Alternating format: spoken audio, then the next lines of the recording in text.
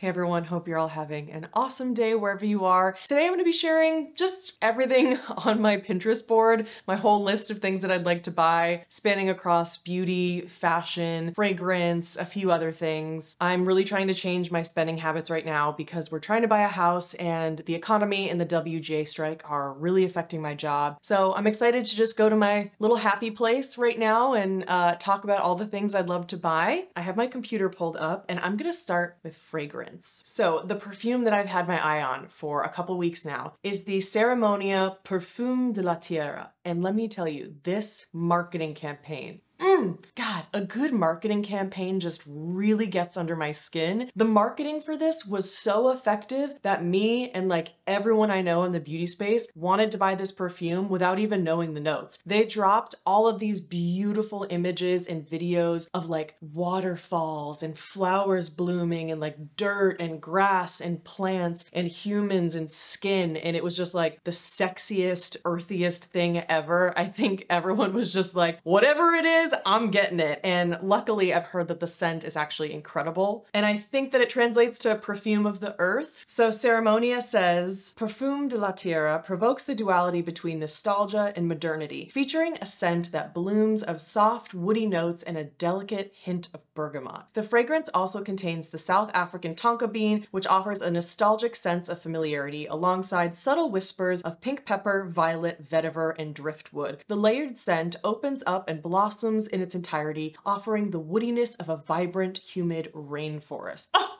Come on. You have no idea how much control I'm having to exercise to not fucking buy this thing. Like, all I want is this goddamn perfume. And the bottle, it looks so beautiful. It looks like nice and gender neutral, and it is supposed to be gender neutral, which I really, you know, I really like. And here are the notes in its entirety. Top notes of bergamot, pink pepper, and basil. Heart notes of jasmine petals, peach and ginger. Base notes of vetiver, tonka bean, and driftwood. My friend Cierra Taylor, who's a content creator here, she She's incredible. She said that she loved it. She didn't feel like the pink pepper was too sharp. I asked her because sometimes pink pepper in perfumes just can be like really astringent and sharp on my nose. She said it didn't have that. She also said the jasmine isn't too overpowering because I don't love jasmine. She said it was perfectly balanced and grounded. My other friend on Instagram, Emily of Glitter Goblin, she said something very similar. She said it's basically like the perfect combination of something, a perfume that's really fresh, aquatic, and woody, and also something super fruity like D.S. and Durga Debaser, and Debaser is one of my signature scents in the warmer months. So I have just been stalking the internet trying to see if any of my favorite fragrance sample companies have come out with a sample of this, and unfortunately they haven't. But right now it's May 18th, and I'm gonna be going to New York the first week of July, and Cierra's gonna be there, so I might actually ask her to bring her perfume to dinner, and then I can spray it and see if I like it. And that way I'll know if it is worth the cost because, you know, it's a full-size perfume. They don't have samples it's $65 and I don't wanna be spending $65 if I don't absolutely have to. So please, if you've tried Ceremonia Perfume de la Tierra, let us know how it smells. I really wanna live vicariously through you. Okay, the next item is a skincare item and it's from this brand called Slurp. My friend Vanessa of Goals to Get Glowing on Instagram raves about this and she says that it just destroys blackheads. And what it is, is an acidic decongestant focused on treating chronic congestion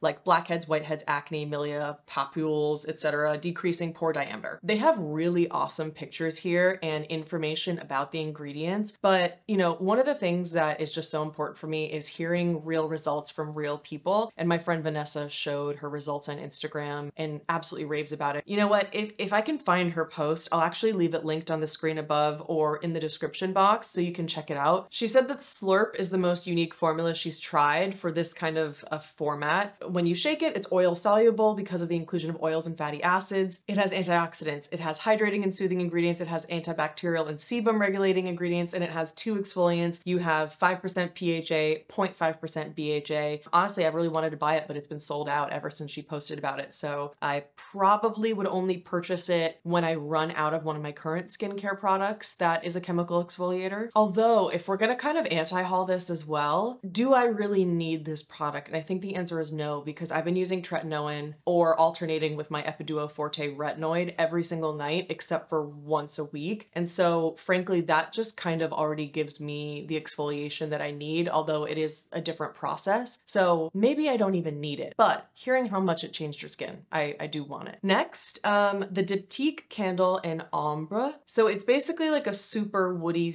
kind of spicy candle. It has woods, vetiver, patchouli, aniseed, spices, mysterious incense, cistus, and tonka bean. And I remember when I was at my friend Rachel's house for Thanksgiving, she's also a content, you know what? I'll just leave everybody in the description box below. You can check them out. Rachel is the skincare standard on Instagram. I was at her house for Thanksgiving in San Francisco and she had this candle burning alongside a bunch of others. And what she did is she put one candle with a different scent in every single room. So every room had a different scent. And I thought it was so great. Even though it was an open apartment, none of the scents clashed. Nothing was too overpowering. She just really knew how to give you an experience involving fragrance. And that was one of the candles I really liked. However, Diptyque is $74 and the candles are tiny. So, you know, not wanting to buy that right now. And also it's almost summertime. I don't really need to be buying a really woody, more, you know, fall winter appropriate candle. So this is going to stay on the wish list. Next, we have the Futurewise Slug Cream Barrier Repair Moisturizer. Okay, another product a friend has influenced me to buy. this one, Devin Jesmer, who's one of my closest friends, she loves this product and it's their Barrier Repair Moisturizer Cream. Oh wait, is that the wrong thing? I thought I was looking at the slugging product. Hold on. Okay, wrong one. I'm looking at the Futurewise Slug Balm Moisture Locking Occlusive. So this is a slugging product. And if you don't know what slugging is, basically you take a petrolatum based product or just like Vaseline and you use it as the last step of your skincare routine, a very, very, very, very, very thin layer. And if you apply it on your skin, it locks in all the skincare you have underneath. And then in the morning you wake up and your skin still feels like it kind of has freshly applied skincare. It's still soft and bouncy rather than being like crusty and having lots of dehydrated lines. But a lot of people like me really don't like the feeling and the greasiness and the slipperiness of Vaseline products. So a lot of people have just been head over heels for Futurewise and this slugging system that they have. This product is only $24 and you can get it at Target, which is great. But Dev since told me that she actually prefers the Experiment Buffer Jelly. And I bought it because of her and I have it right here and I love it. It is a combination of an oil jelly hybrid and you just shake like two drops, one or two drops into your, your palm and then massage it into your hands and apply it all over your face and neck after you're done with your skincare at night. And it just seals everything in with an occlusive layer that feels, you know, lightweight and beautiful. And she said she preferred this one. So I'm gonna hold off on the Futurewise for now. Okay, a significantly bougier and pricier item that I have been eyeing for months and months and months now are the Prada brushed leather monolith loafers. They're so cool. I tried them on at the Prada store when I was there in Miami and they are surprisingly lightweight. That chunky part of the loafer looks like it would be super heavy and I don't like heavy shoes because I have back problems and chronic illness, but these were actually light as air when I tried them on and I think they're so cool. They totally match my style. You know, because they're a leather loafer, they're kind of preppy, but then because they have that chunky sole, they're a little bit more punky. I just think that they're so cool. I would wear these forever. I, I just, I absolutely love them. But obviously, I mean, they're Prada. They're over $1,200. That's a pretty penny and I certainly don't need to be spending that kind of money right now. So I will not be buying them right now, but they will be holding strong on my wish list. That is for sure. And then I was also deciding between the Prada chocolate brushed leather loafers. These are a more classic style, a little bit more androgynous, I think too. And I really like that. I think these are probably more timeless, but I like the others more. Instagram ads got me again. Instagram is honestly where I get like a lot of my clothing these days because Instagram knows what I'm looking for. And so they just serve me exactly what I want. Before Coachella, it was serving me all these like awesome flowy matching sets. And this is when it popped up on my list. It's this company called Lala, I guess. I thought it was LA something, but I guess it's Lala. And this is the Lala original Lex Rib checkerboard play suit in black and mocha. Oh my God, she's wearing it with the Prada. Oh She's wearing it with the Prada loafers. I feel like it's a sign. I feel like it's a sign that I have to buy this outfit. It's so sick. It, it's like black and maroon, like checkered, matching like oversized pants and shirt. This is so me. I would style it exactly like that too. And she's wearing exactly the Prada loafers I wanted. Well, I may not be buying those Prada loafers, but I might be buying this play suit because I think it looks really, really cool. I'm so into this. Definitely gonna check out the rest of their stuff. Moving on to Sephora, I saw that Armani is launching a new shade, at least on Sephora of the Lip Power Satin Lipstick. It's the shade 107 Central, which they say is a soft beige. So I pretty much just put it on my wish list just because I want to see what the color looks like in person. If something's on my wish list the next time I'm able to go to a Sephora, then I can swatch it and see if it works for me. Definitely wouldn't just blind buy it though, because while I love the Armani Lip Power formula, it's so creamy and pigmented and beautiful and comfortable. The digital swatches are nothing like the shades in person. Like they are the total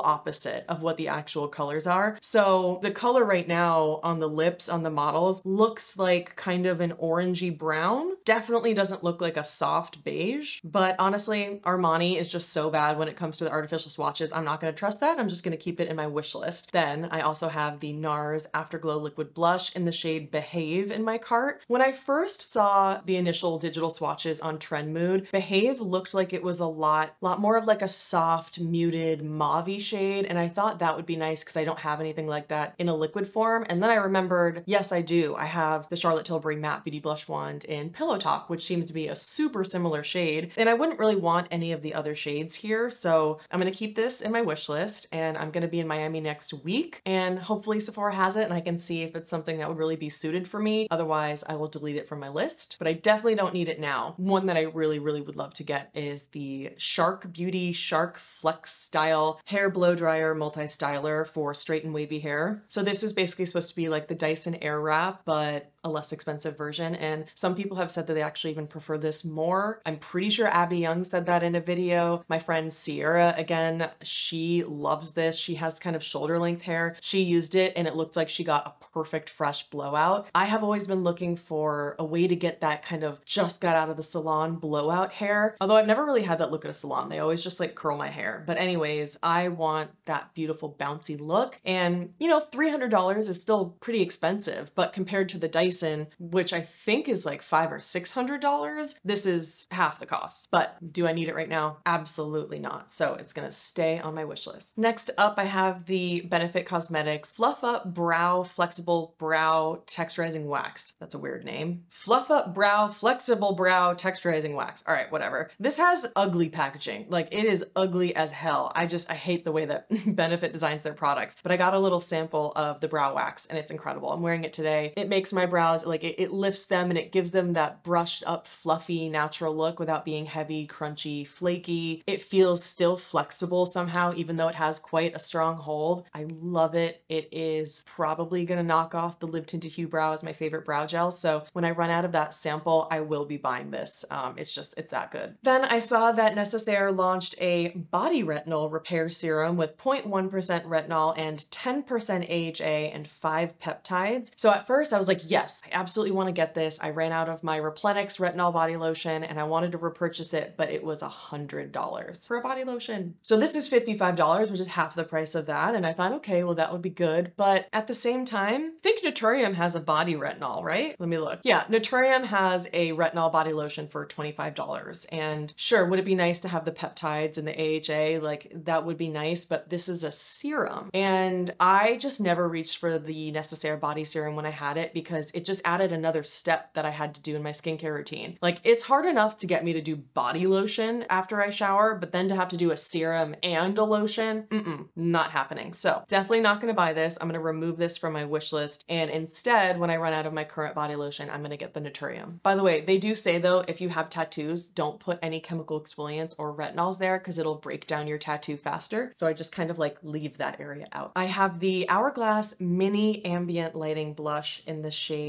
Mood Exposure, which is a soft plum blush fused with mood light. It just says with mood light to brighten the complexion. Mood Exposure just looks like that perfect, soft, kind of cool toned mauve beige that I think would look good just on an everyday basis. My current kind of like my skin but better blushes are the Jones Road blush in the shade Sandy, which is a little bit more of like a pinky My Skin But Better blush. Then there's Laura Mercier Fresco, which is a little bit more of like a tan peachy My Skin But Better blush and I'm wearing that. Actually, I'm wearing both of those blushes right now, but I'm still looking for that perfect My Skin But Better blush. And I just feel like this color is it. Something that looks like I'm almost not wearing blush, but just like a little bit amped up. So I'm really interested in this. People love this formula. And then I also really wanted the shade, where is it? Um, Euphoric Fusion, but they only have a full size of that, which is $45, whereas they have a mini of Mood Exposure for around 25. And Euphoric Fusion is a soft lilac blush blended with euphoric strobe light for a resplendent glow. I was watching an amazing video from Nikki LaRose where she purchased every single blush at Sephora and applied them all on one cheek in the same sitting. It was amazing. It was so much fun to watch. And she said, I think that Euphoric Fusion was her favorite blush out of everything. She just said it applied like a dream. It was the perfect color. It made her cheeks look absolutely beautiful. But I own so many blushes. This is a shimmer finish, it says, and I feel like I have too many shimmery blushes. I'm looking for more kind of powder matte finishes. So I just don't think that this is the right time for me to buy this right now. I need to I need to use up some blushes in my collection. We also have the Givenchy Prism Libre Skin. Wait, how do you say it? Is it Prism Libre? Prism Libre? But then how do you say it if you're not trying to speak French? Prism Libre? Prism Libre? Libre? Like, how do you, I never know what to say if something's French. Like, are you supposed to try to say it in the French accent? Or are you supposed to just say it like an American? Like the dumbass American that I am. Anyways, it's the Givenchy concealer and I really love it. I have it in the shade C240. It's so beautiful. It's like blurring, super spreadable and thin, sets down to a gorgeous satin natural finish, has solid medium coverage doesn't emphasize texture or anything like that. But C240 is just a little bit too light for me. Unfortunately, this seems to skew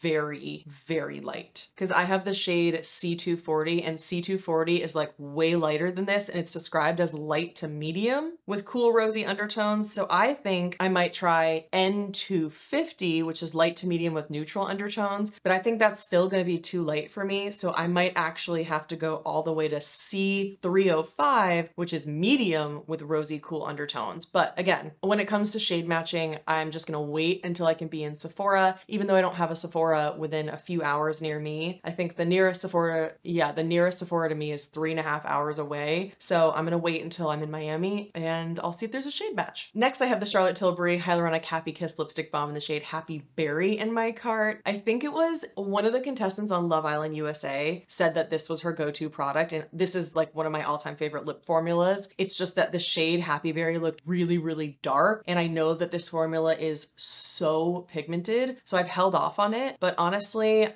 hearing that it was her favorite lipstick, I'm kind of itching for it. It does look very dark in the swatches online, but I kind of wonder if there's a way to just like dab it on and sheer it out. At the same time, it's spring and summer now. I'm not gonna be reaching for my berries. I'm just gonna be reaching for like my sheer glossy lips, my nudes, my pinks, the, my peaches, the corals, you know, that kind of stuff. So I'm going to uh, keep that on my wish list. Next, I have the Hourglass Phantom Volumizing Glossy Balm in the shade Mist in my cart. It's described as a pale pink, and this is the mental game that's going on here that I know a lot of us kind of have to deal with. I tried this product. I loved it. The shade Slip is perfect. It's a beautiful rose shade. It's brightening. It's glossy. It, it's just great with my complexion and my undertones. And then once I find a product in a shade that's perfect, my brain starts wanting the other shades. And it's like, well, if this shade is so good, then maybe that shade's going to be even better. And it never is. It's always the one where you're like, that's it. That's the one. That is the one. And you should just stick with that one. So I have this in my cart so that the next time I go to Sephora, I can try it on. But I remembered when I went to Sephora and I swatched it one time and that was the one that sold me on Slip. The shade Mist actually wasn't a pale pink. It was like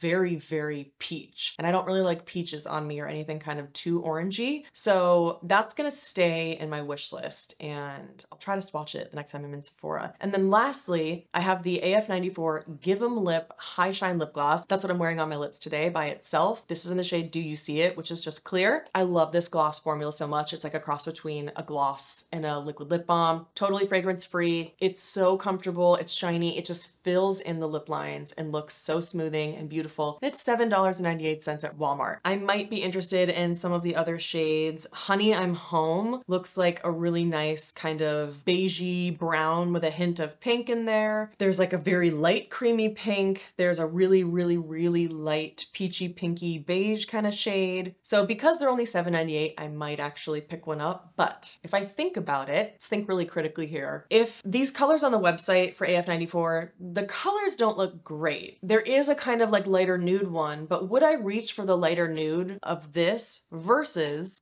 Ami Colé Bliss? No, because this is a perfect formula in a perfect color. So I don't need another shade that looks like this because I already have this. And then the other shades they have there, they have like a dark red, which I definitely wouldn't wear. They have a bright pink that's a little cool tone. They have a really light cool toned pink that's kind of NARS Turkish Delight. That looks like it would be a little too light, a little bit too, you know, too much white pigment for me. And then the other shades are either the one that looks like Bliss from Ami Colé or another one that looks too light. So taking my critical thinking hat off, I think that was the, the sign that I'm good with just this one for now. That's it. I hope you liked this little wish list video. Let me know if you want to see more videos like this. Let us all know what's on your wish list or anything that you've been loving lately. If you like this video, please give it a thumbs up and subscribe while you're here. It really helps to grow my channel. And wherever you are, I hope you're having an awesome day. Sending you lots of love and I'll see you in the next one.